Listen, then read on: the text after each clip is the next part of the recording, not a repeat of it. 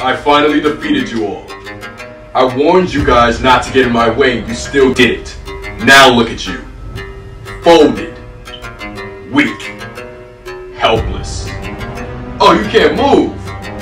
Looks like I broke your legs. That's fine, because with all my friends by my side, we can do anything.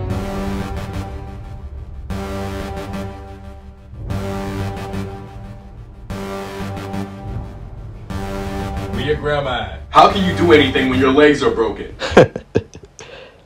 Plot. Yo, who's writing this script? I broke his legs. You forgot he was the protagonist? You going to bed today. He's getting his legs ready. The boss music was never for you, it was for him.